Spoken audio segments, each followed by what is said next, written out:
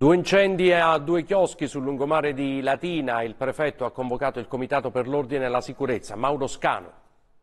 Due incendi di chioschi sul litorale in poche ore, l'ultimo a urne ancora aperte per mandare un messaggio intimidatorio a un anno esatto dalla scadenza delle concessioni demaniali affidate nel 2018 dal comune di Latina. Destinatario il nuovo sindaco, a prescindere da chi fosse uscito vincitore dalle elezioni. Un gesto grave che ha spinto il prefetto a convocare immediatamente il Comitato per l'Ordine e la Sicurezza, a cui ha partecipato anche Matilde Celentano in uno dei suoi primi atti da sindaca. Sicuri di dover dare delle risposte e le daremo sotto il profilo della sicurezza non soltanto per eh, assicurare eh, i responsabili di reato, ma anche per sviluppare quella fiducia su quel litorale che è un elemento di economia molto importante per Latina e noi vogliamo dare fiducia agli operatori e soprattutto garantire eh, quest'estate che venga svolta in serenità per tutti.